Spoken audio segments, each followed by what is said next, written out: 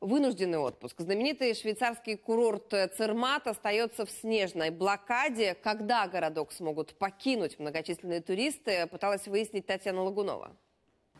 В ловушке у зимы швейцарский горнолыжный курорт Цермат уже вторые сутки отрезан от внешнего мира. Из-за угрозы схода лавин власти остановили транспортное сообщение с этим населенным пунктом. В Альпах застряли 13 тысяч туристов.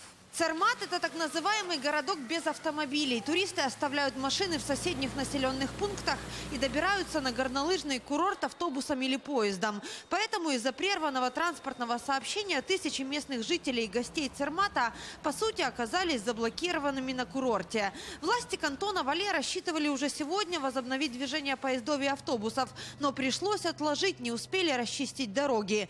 Туристов, которым нужно срочно покинуть Цермат, пока что вывозят на вертолете вертолетах. Причина возникшего хаоса – сильные снегопады, которые шли в Альпах несколько дней. В некоторых районах толщина снежного покрова составляет почти 2 метра. Похожая ситуация в итальянских Альпах. Из-за сильных снегопадов там сошли лавины. Э, несколько деревень, которые находятся высоко в горах, так же, как и в Швейцарии, отрезаны от внешнего мира. Татьяна Лагунова, Вячеслав Фролов. Подробности Европейское бюро телеканала «Интер».